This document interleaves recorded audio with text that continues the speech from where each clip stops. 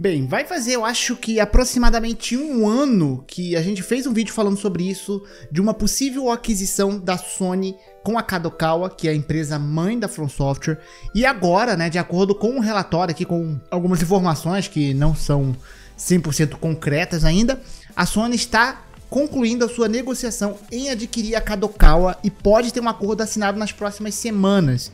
Vamos comentar sobre isso, vou falar que eu ainda mantenho a minha opinião, eu não sou muito a favor da Sony comprar a From Software, mas eu vou explicar o porquê eu acho isso. Então antes de começar o vídeo, não esqueça de deixar o like, se inscreve no canal, clique na descrição para você concorrer ao PlayStation 5 Pro que tá rolando aí até o final do ano, e vambora pro vídeo. Então, deixa eu só deixar um recado aqui, porque assim, tem muito fanboy que assiste, e tem fanboy que tem um de QI, infelizmente, né? Eu vou falar assim, eu não gosto que, a, não gostaria que a From fosse comprada pela Sony. Também não pela Microsoft, tá? Eu sempre fixo isso. Eu não gostaria que a From fosse comprada. Eu gosto. O time que tá ganhando não se mexe para mim. Eu gosto com o estado que a From tá atual, por enquanto, tá? Só que eu falar isso, o cara entende. Putz, o cara é cachista. Putz, o cara é sonista. Galera, a minha plataforma principal, que eu mais jogo, é o PlayStation. Eu nem tenho Xbox. Os jogos do Xbox eu jogo no PC. Eu não tenho. Eu, embora meu console principal seja o PlayStation, eu não tenho eu não faço igual o fanboy, né? Tipo, o fanboy viu o selo verde, automaticamente ele tem que odiar o jogo. Ou vice-versa, viu o selo azul, automaticamente tem que odiar o jogo. Não. Se o jogo é bom, eu vou jogar, vou me divertir e boa. Só que a plataforma que eu, que eu jogo principal é o PlayStation. Mas quando eu preciso, eu jogo no PC, eu jogo de Xbox também. E tem jogos que eu gosto pra caramba também. E elogio aqui no canal, tá? Mas, é só pra deixar claro que o fanboy é meio doido. Ainda vai ter uns comentários meio doidos aí, né? Discordar de comprar ou não, beleza, mas o cara acusar você de ista, ista, porque você não quer, é, é, é o mais comum que tem na internet. Dito isto, né, eu não gostaria da Kadokawa ser comprada nem pela Sony, nem pela Microsoft, né, porque eu curto como a From Software tá hoje em dia, sendo uma empresa multiplataforma, tá, e para mim eu acho que deveria continuar assim. O time que tá ganhando não se mexe, eles estão indo muito bem, eles estão lançando hits atrás de hits, acabando de quebrar um recorde aí lançando uma DLC, como concorrente a jogo do ano. A From Software tá ótima, tá? Mas a Sony, primeiramente, precisa falar que a Sony já tem uma porcentagem, eu não lembro quantos por cento exatamente são, mas ela já tem uma porcentagem da Kadokawa, tá? Ela já comprou um pedaço da Kadokawa, assim como a Tencent já comprou um outro pedaço que é maior que o da Sony, se não me falha a memória. Então a gente tem a Tencent e a Kadokawa ali, inclusive, não sei como é que seria essa aquisição, se ela vai comprar a parte da Tencent, se a Tencent vai ceder essa parte para ela, eu não sei exatamente como é que funciona essa questão de compra. E o fato é que a Sony está em negociação com isso. É, novamente, eu também não sei dizer se a Sony pode comprar, por exemplo, só a parte de animes ou só a parte de games, se é possível fazer isso, se não é, ou se ela vai pegar tudo. Porque a Kadokawa, ela não é uma empresa barata, galera. Vamos lá, tá? Vamos sair um pouquinho do da From Software e ver o que a Kadokawa tem. A Kadokawa, ela é um conglomerado gigante, cara. Ela tem muito produto grande, tá? E muita gente tava falando até em questão dois animes, o quão a Sony ia ficar poderosa na questão de IPs de animes, que é algo que ela tem muito. Se liga só. Eu tava vendo aqui, olha a lista só de mangás, né, barra animes, que é da Kadokawa. Tem muito aqui que provavelmente você já assistiu. Cowboy Bebop é famoso. Code Geass, que inclusive curiosidade aí. Eu fiz um cosplay de Lelouch com 13 anos de idade. Ainda bem que essa foto se perdeu aí. Não existe mais, né? Sumiu. Mas é, é um dos, dos animes que eu mais gosto. É maravilhoso o Code Geass. Depois que você assiste adulto, então, é melhor ainda que você entende um pouco mais, né? Sobre as profundidades. Enfim, Deadman Wonderland é famoso. Né? Eureka 7, você vê muitos títulos aqui que são títulos conhecidos, cara. High School of the Dead, Konosuba, né? Enfim, Mirai Nikki é famoso. ReZero é uma franquia que eu, eu, eu não conheço muito, mas eu ouço falar muito de ReZero. Então é famoso. Então a gente tem muitas coisas é, no quesito anime que são muito famosos, ó. O, o é, Trinity Blood, que é um pouco mais antigo aí, quem lembra, alguns talvez lembrem. Enfim, né? E deve ter vários outros animes aqui que são grandes também e eu, por exemplo, provavelmente não conheço. É, então, ela é dona de franquias bem populares de anime também. Não só jogos, tá? Jogos ela tem como carro-chefe, basicamente, a From Software mesmo, né? Se você for ver aqui as listas de lançamento, pelo menos aqui no ocidente. Eu não sei como que é lá no Japão, né? Porque o Japão tem seu próprio nicho maluco lá. Mas a Kadokawa não é só From Software, a Kadokawa tem muita coisa. Então, depende muito do que a Sony tá mirando para fazer. Né? Dito isto, dito isto, por que, que eu não sou muito fã dessa ideia da Sony comprar a From Software? Né? Primeiro, é que a Sony não transparece ter muito carinho com as IPs que ela tem da From Software. A gente teve o Demon Souls que ficou excluído do PlayStation 4. E aí no 5 eles foram fazer um remake, beleza. A gente tem novamente o Bloodborne totalmente excluído nessa geração. E provavelmente vai se repetir o mesmo com o Demon Souls. Eu acredito que vai ter um remake do Bloodborne lá no PlayStation 6, tá? Mas, você conhecendo o que a Sony faz com as outras franquias, você vê que por mais que, ah, beleza, ela trouxe um remake de Demon Souls, ela pode, isso aqui a gente nem é confirmado, ela pode trazer um remake de Bloodborne. Você vê que não há o mesmo senso de urgência, igual tem um Horizon, igual tem um The Last of Us. Né? Eu sei que, pô, são franquias que vendem mais que Bloodborne, mas Bloodborne, por exemplo, tá na frente de Ratchet Clank em vendas.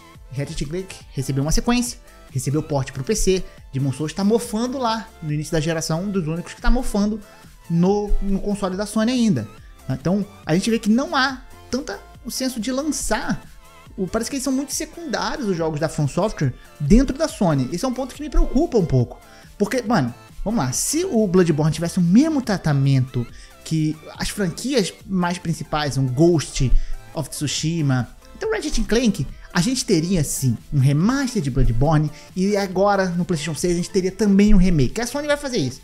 Mas a gente vê que do padrão da Sony de fazer remake, remaster de novo, do remake, fazer remake do remaster, a gente vê que isso não acontece com Bloodborne. Então, sim, ele é meio que vamos fazer um remake, mas deixa ele esquecido dessa geração aí.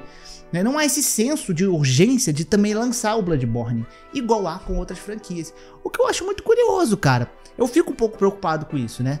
Porque, pô, muita gente fala, ah, ela tá protegendo. Mano, isso aqui não é proteger, mano, pra mim. Isso aqui não é proteger. Eu acho que isso aqui é uma estratégia ruim, na verdade, tá? Beleza, você fala, ah, proteger, ela lançou Demon Souls e não lançou no PC, tá? Protegeu mas você não tem um 60 FPS no Bloodborne, isso não é proteger. Isso é esquecer, tá? Então, eu fico um pouco preocupado com esse ponto, né? Eu vou falar os pontos que podem ser positivos também, porque nem tudo é 100% ponto negativo, tá, galera? Eu fico com medo também em questão a liberdade para From Software.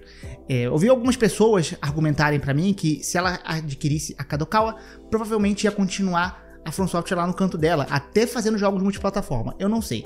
Dependendo da forma que fosse. Ah, adquiriu a Kadokawa, mas a From Software vai continuar ali independente, no máximo fazendo umas parcerias ali e boa. Aí ok, eu não vejo tanto problema. Né? Mas o problema é se a Sony pegar a From Software, colocar como um estúdiozão de games lá, né? E tentar interferir muito. Eu, sou, eu tenho um pouquinho de receio com isso. Tá? Eu fico um pouquinho receoso nesse ponto. Porque, por exemplo, a Sony, né? Tanto a Sony quanto a Microsoft teve demissões em massa. Enquanto isso, a From Software está aumentando o salário de funcionários lá dentro. Então, é uma outra mentalidade. Então, eu fico um pouco preocupado disso ser algo negativo para a From Software que está numa maré muito boa de lançamentos. Então, o que eu falei, eu não gosto que mexa com o time que tá ganhando. Os caras tá ganhando, deixa os caras lá, né? Deixa os caras lá. É, a Sony, tudo bem que a Sony aprendeu com isso, mas a Sony, por exemplo, tentou ali a, a Naughty Dog fazer um jogo de serviço. Né? Imagina se quer interferir nisso na From Software. Eu, eu fico com esses receios, tá? Então é por isso que eu não gosto. Eu gosto da From Software multiplataforma, ela fez sucesso no multiplataforma. Eu sempre sou mais a favor também de jogos multiplataforma aqui, para mim lança em tudo. Mas mais do que isso, a From tá boa, é um time que tá ganhando. Eu não gostaria que mexesse muito, tá? Eu não sou contra, pessoal, parcerias ou até exclusividades temporárias, igual ela faz com a Square. Pô, faz uma parceria aí. Pô, vamos lá conversar. Bloodborne 2 em parceria com a From Software, beleza? Ou uma IP nova, vamos fazer uma IP nova, vamos fazer uma parceria com um ano, dois anos de exclusividade temporária, beleza? Não acho que precise comprar a From entendeu? Tem a diferença entre a Sony ser uma parceira, ser algo mais próximo e fazer coisas pontuais, IPs pontuais ali com a From eu não vejo nenhum problema, tá? Eu não queria que fosse adquirida, essa, essa é a diferença. Agora, Pontos positivos, porque né, sempre, a gente sempre tenta abordar os dois lados aqui. Quais seriam os pontos possíveis positivos aqui?